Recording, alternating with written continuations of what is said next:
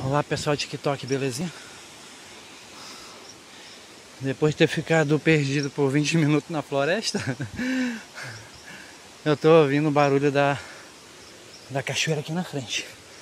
Consegui me localizar.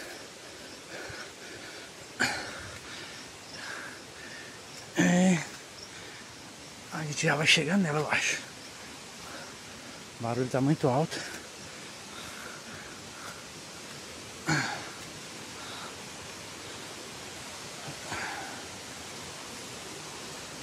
Aí eu consigo ver ela aqui daqui já. Acho que no vídeo não vai dar pra pegar. Já tem um caminhãozinho aqui, uma trilhazinha. Que o pessoal faz, né? Vir visitar ela.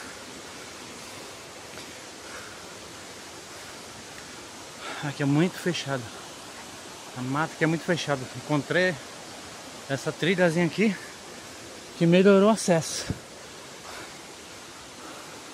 Estava muito complicado chegar aqui. Tô ofegante, que é íngreme, é bem, bem íngreme isso aqui. Aí eu tenho que parar um pouquinho para respirar. Apesar que o ar aqui na mata é bem fresco, né?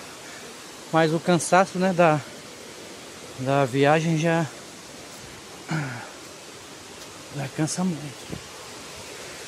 Ah, tem uma, aqui achei, tem um tem uma coisa bem legal aqui que eu vou mostrar pra vocês e vou contar a história disso aqui. Pra para vocês ficarem por dentro um pouco do do local aqui de de Petrópolis. Nossa, é linda.